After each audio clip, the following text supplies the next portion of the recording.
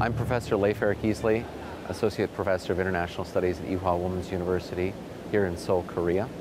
It's been my honor to speak with the religious support teams who do so much to lift up our service members dealing with the current situation on the peninsula.